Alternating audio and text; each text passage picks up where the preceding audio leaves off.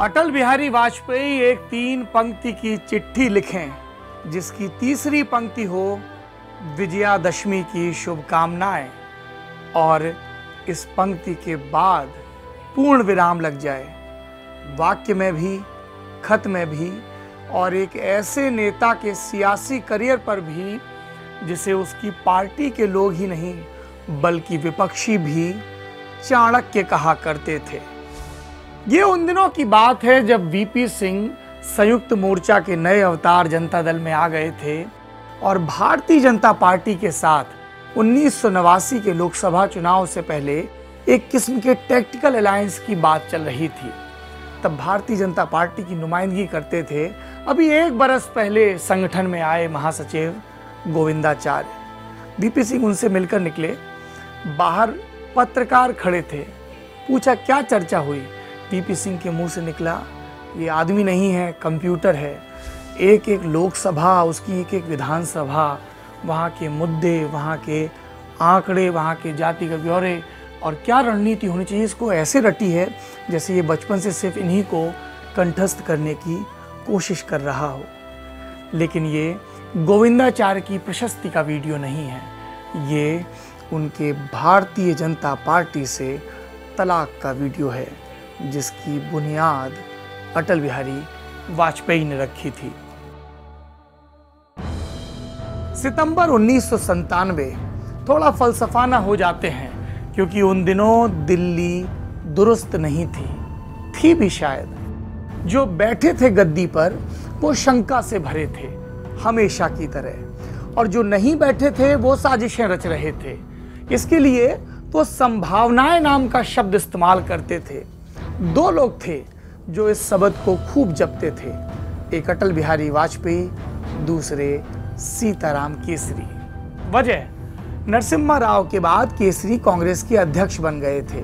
दरअसल राव को लगा कि अब जब कोर्ट में उनको बुलावा आ रहा है लखू भाई पाठक मामले में तो कहीं ऐसा ना हो कि गिरफ्तारी हो और अखबार में छपे कांग्रेस का अध्यक्ष गिरफ़्तार। वैसे भी नरसिम्हा राव उन्नीस सौ छियानवे के लोकसभा चुनाव में हार के बाद सियासी रूप से कमज़ोर हो गए थे। तो उन्होंने सीताराम केसरी के माथे पर अध्यक्ष का मुकुट धर दिया। कांग्रेस के समर्थन से केंद्र में देवेगौड़ा की सरकार चल रही थी। फिर एक रोज चचा केसरी का मन किया। उस कविता की तर्ज पर जो हमने स्कूलों में पढ़ी थी, यदि होता किन्नर नरेश में। केसरी बोले, यदि होता प्रधानमंत्री में। मन की करने के लिए उन्होंने देवेगौड़ा सरकार गिरा दी। अपनी सरकार बनाने की कोशिशें की, नहीं बना पाए। सीपीएम के महासचिव हरिकिशन सिंह सुरजीत अड़ गए। झक मार के केसरी को एक और नाम पर सहमत होना पड़ा। वो भी जनता दल के नेता थे। बिना जनाधार वाले नेता थे। उनका नाम इंद्र कुमार गुजराल था। लेकिन जिस दिन गुजराल ने शपथ ली, उस दिन सब समझ गए थे कि अब जल्द ही लोकसभा चुनाव होंगे, मध्यावधि चुनाव होंगे। उधर भारतीय जनता पार्टी थी, जो इस लोकसभा के शुरुआती तेरह दिन सरकार चला चुकी थी। अटल बिहारी वाजपेयी के नेतृत्व में। वाजपेयी और उनकी पार्टी, ये जो राजनीतिक हालात थे दिल्ली के देश के, इन पर लगातार नज़र बनाए हुए थी। नज़र इन सब पर दुनिया के लोगों की भी थी, खासतौर पर राजनयिक हल्के के लोगों की। ये लोग समय समय पर मिलते रहते, बीजेपी के उन नेताओं से जो अहम थे। ऐसी ही एक मीटिंग हुई 18 सितंबर उन्नीस को नई दिल्ली में, तब भारतीय जनता पार्टी का ऑफ़िस अशोक रोड में हुआ करता था। पार्टी के संगठन महासचिव कोडिपकम नील मेघाचार्य गोविंदाचार्य यहीं बैठते थे। वो मिले दो ब्रिटिश डिप्लोमेट से। पीएचयू से पढ़े और फिर आरएसएस के प्रचारक बने गोविंदाचार्य के लिए रूटीन जैसा था। क्योंकि पार्टी तेरह दिन के लिए सत्ता में रही थी, कई राज्यों में सत्ता में थी तो लोग आकर मिलते रहते थे चीज़ें समझने के लिए। और ये उन्नीस का वो वक्त था जब बीजेपी के सत्ता में आने की संभावनाएँ प्रबल थी। तो ऐसे में गोविंदाचार्य का काम बढ़ गया था। वैसे भी वो लाल कृष्ण अडवाणी जो उस वक्त पार्टी के राष्ट्रीय अध्यक्ष थे और राष्ट्रीय स्वयंसेवक संघ, दोनों की आँखों के तारे थे। चाहे राम जन्मभूमि आंदोलन हो, उसका चुनावी डिज़ाइन हो, या फिर सोशल इंजीनियरिंग, ये उन्हीं का दिया हुआ शब्द है, जिसमें भारतीय जनता पार्टी ने कमंडल को मंडल की काट के एक औज़ार के तौर पर देखा और ऐसे नेताओं को आगे किया जो पिछड़ी जातियों से आते हैं। तो हिंदुत्व प्लस जाति और उनका विकास का नारा। इसी मुहिम के तहत उत्तर प्रदेश में कल्याण सिंह, मध्य प्रदेश में उमा भारती जैसे नेताओं को आगे बढ़ाया गया। गोविंदाचार्य की खासियत क्या थी कि वो बहुत आगे की देख कर चलते थे, रणनीति के लिहाज से, विजन के लिहाज से। लेकिन उनकी आगे की राह में बीजेपी ने जिन्हें अटल बिहारी वाजपेयी को अपना चेहरा बनाया था, वो खड़े थे। वाजपेयी गोविंदाचार्य को नहीं जमते थे।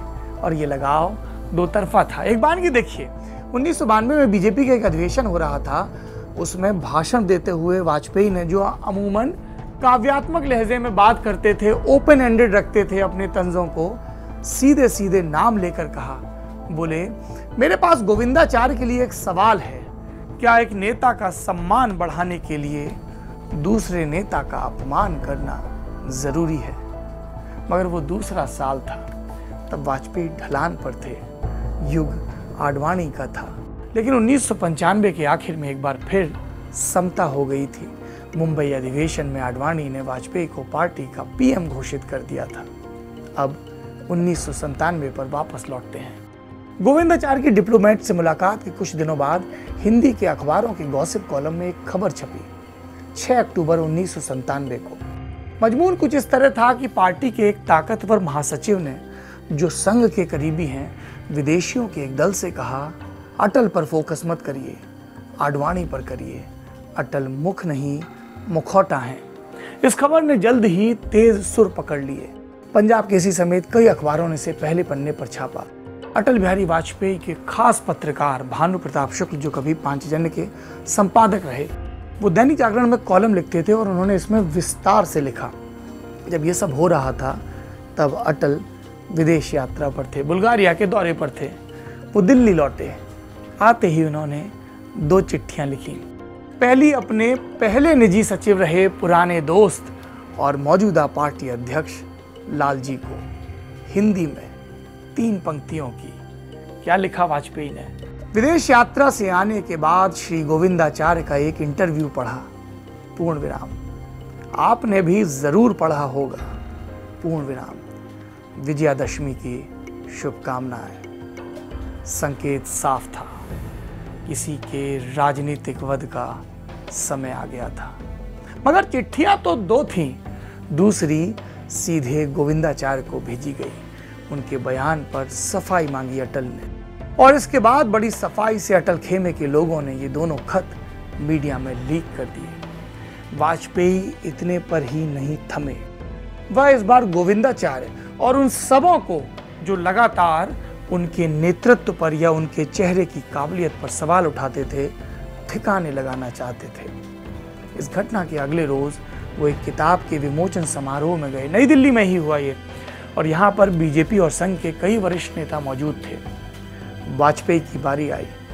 मंच से तंज में बोले, मुझे अचरज होता है जब कोई बोलने के लिए बुलाता है।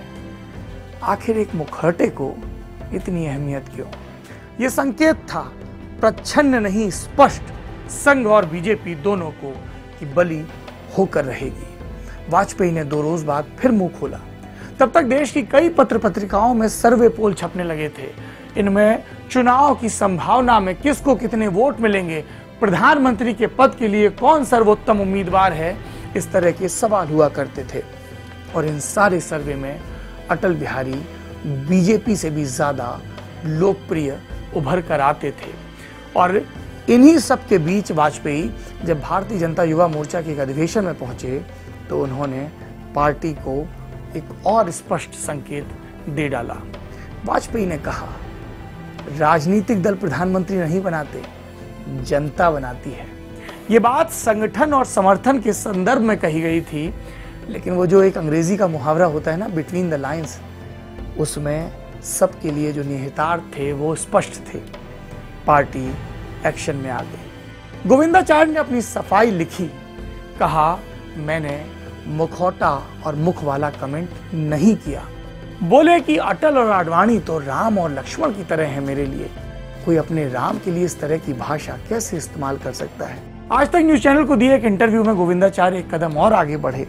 वो बोले, अटल जी मुझसे प्यार करते हैं। और आडवाणी, उन्होंने इस सफ़ाई के बाद गोविंदाचार्य को साफ़ कर दिया कि अभी आपको नेपथ्य में जाना होगा। एक बार फिर वह पीछे गए तो आगे नहीं आ पाए, क्योंकि आ गए थे अटल बिहारी और चले गए थे गोविंदाचार्य। पहले पार्टी में कमज़ोर हुए, फिर साल 2000 की शुरुआत में उन्होंने संघ को चिट्ठी लिखी और दो बरस का अध्ययन अवकाश मांगा। और उसके बाद वापसी वापसी की बात जो होती रही है गोविंदाचार्य के इस मुख और मुखौटा प्रसंग के बारे में कई बातें कही गई हैं। गोविंदाचार्य हमेशा इनकार करते हैं, वाजपेयी के समर्थक हमेशा इसकी सत्यता में यकीन करते हैं। ये जो मैंने आपको पॉलिटिकल किस्सा सुनाया है, इसके कई ब्यौरे एक नई किताब से लिए गए हैं, जिसका नाम है shadows of saffron from Vajpayee to Modi Saba Naqvi हैं, वरिष्ठ पत्रकार हैं, उन्होंने इंडिया टुडे और आउटलुक में लंबे समय तक काम किया है।